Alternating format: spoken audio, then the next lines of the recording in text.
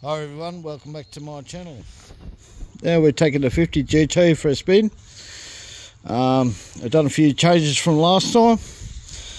Put the IRC shocks on, the adjustable shock setup so I can get it sitting lower, not as high up the air. I did the same. Let's see a better photo.